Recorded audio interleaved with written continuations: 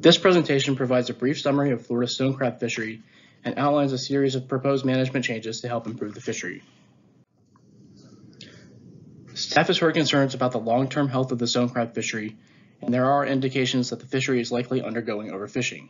Staff has worked with the stone crab industry for several years and has developed a series of draft management changes that were presented at the May 2020 Commission meeting. Although commissioners approved the draft proposal, they directed staff to continue gathering feedback and continue evaluating options before returning for a final public hearing in July. We are seeking public input on potential management changes to be included as a final proposal that will be presented to the Commission at the July Commission meeting. Stone crab is one of the most valuable commercial fisheries in Florida, and it also supports a popular recreational fishery. Stone crabs are primarily harvested with traps, but can also be harvested by diving. This fishery occurs statewide, but is most common from the Big Bend down through the Keys and Miami-Dade County. There is no federal management plan for stone crab, and FWC manages this fishery in both state and federal waters off Florida. Commercial stone crab landings show a long-term decline in average annual stone crab harvest over the last 20 years, and multiple FWC stock assessments indicate that the fishery has been overexploited and has likely been undergoing overfishing since the late 1990s. In that time, the fishery has experienced a 22% decline in annual landings, which represents an estimated loss of about $8.3 million in potential annual dockside revenue at current market prices. However, because market prices have increased over time, this fishery is still profitable for harvesters. Management changes are necessary to prevent further decline of this valuable resource and the fishery it supports. This graph shows total commercial stone crab landings, the blue solid line, and the total fishery value, the green dotted line, for each stone crab season since the mid-1980s. You can see that landings are cyclical, with regular highs and lows. However, the landings show an overall long-term decline in annual harvest since around 2000. This also shows that the overall value of the fishery has continued to increase despite declines in landings. Let's talk briefly about the management approach that staff discussed with commissioners at the May Commission meeting, and how we've arrived at the current recommendations. For this fishery, staff plans to focus on increasing the stone crab population and building resiliency in the fishery.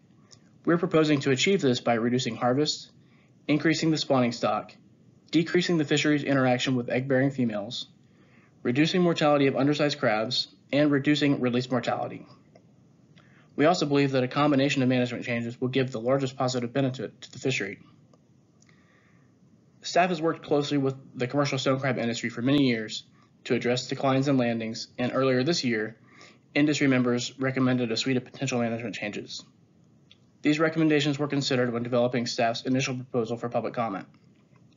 On the next few slides, I'll go over the draft management changes that were presented at the May Commission meeting things to take into consideration for each management option, and how staff is proposing to move forward on each option. The May draft rule proposal included modifying the stone crab season by moving the end date from May 15th to April 9th. This change is expected to reduce annual harvest by at least 10%, reduce the fishery's interaction with egg-bearing females at the end of the season, and reduce mortality associated with warmer water temperatures.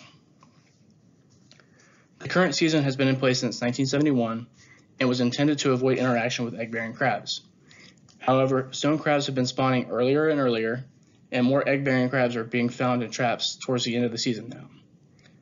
Stone crab harvest is highest at the beginning of the season, so shifting the season earlier to compensate for moving the end of the season back could actually increase harvest and subject crabs to higher release mortality because of warmer water temperatures.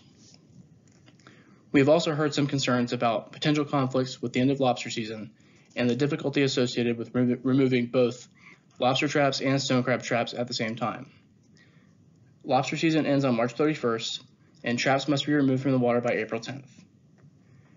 Considering public feedback, staff is seeking public comment on an updated proposal to end the season on April 9th, but to also extend the postseason trap removal period for stone crab from 5 days to 10 days. Extending the trap removal period allows traps to be fished later into the season and will reduce conflicts with the end of lobster season.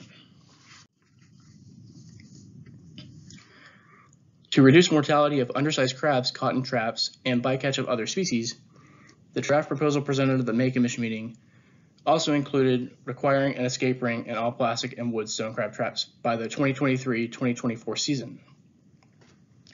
This proposal was informed by a two-year study conducted by scientists with FWC's Fish and Wildlife Research Institute in collaboration with commercial harvesters.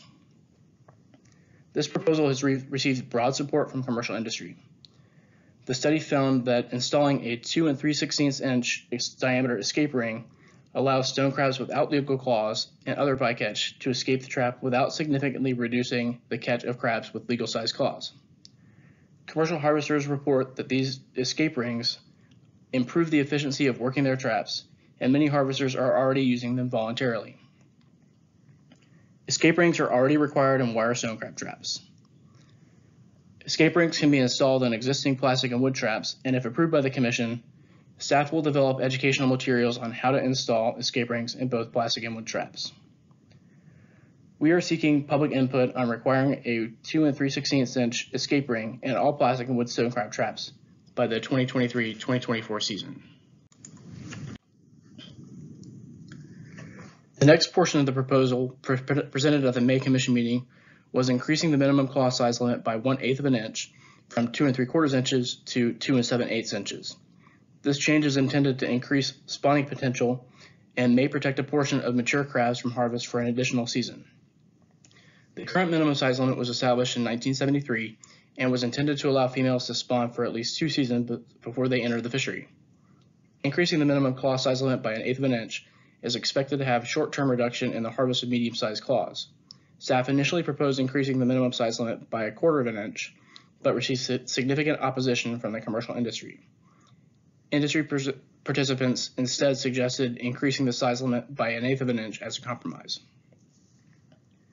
Based on public feedback, staff is seeking public comment on moving forward with an eighth of an inch size limit increase make, to make the minimum claw size 2 and 7 eighths inches. This increase in claw size is expected to reduce harvest of smaller but still mature crabs and increase spawning potential ratio when implemented in combination with the other proposed changes.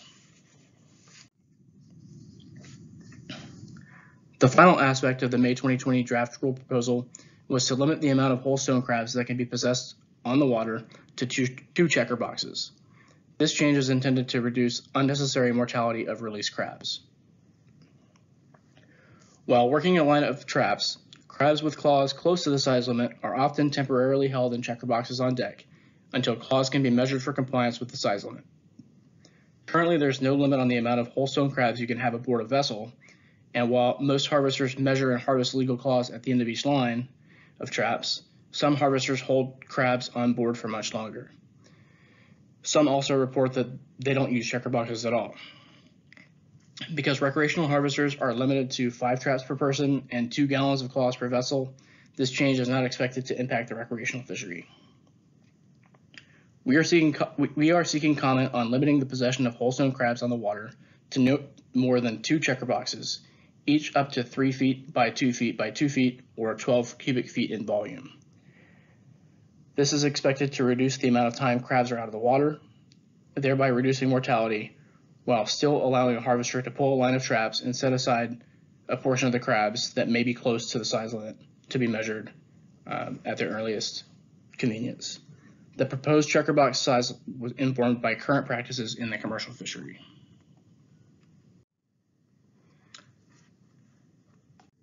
There are many things to consider related to potential management changes for this fishery. As mentioned earlier, commercial landings show a long-term declining trend, and based on previous stock assessments, this fishery is likely undergoing overfishing under current regulations. Based on the available information, including landings and stone crab biology, changes are needed to improve the stone crab stock and the fishery. Some regulations, like the stone crab season and minimum claw size, have been in place since the 1970s. The stone crab industry has recognized that changes are needed, and this proposal was developed in coordination with industry members. Staff believes that implementing this combination of proposed rule changes is a necessary step toward improving the fishery now. These changes could have an effect on the economics of the fishery, but we're proposing these changes as a long-term investment in improving the fishery's future. A new stock assessment is expected within three years, and additional management changes could be considered in the future if necessary. If approved by the commission at the July commission meeting, changes could be in place before the upcoming 2020-2021 stone crab season. This slide shows a summary of potential final management changes. These changes are intended to improve the stone crab population and build, build resiliency in the fishery and would apply to both commercial and recreational harvesters. We are asking for public feedback on the following changes. Moving the end of stone crab season from May 15th to April 9th, extending the postseason stone crab trap removal period from 5 days to 10 days, requiring a 2 and 3 16 inch escape ring in all plastic and wood stone crab traps by the 2023-2024 season, increasing the minimum claw size by an eighth of an inch to 2 and 7 eighths inches, limiting the possession of whole stone crabs on the water to two checker boxes, each up to 3 feet by 2 feet by 2 feet, or 12 cubic feet in volume. Please note that the proposed management changes listed on this slide are subject to change based on public input. To ensure that you are providing comments on the current proposal, please visit myfwc.com slash saltwater comments.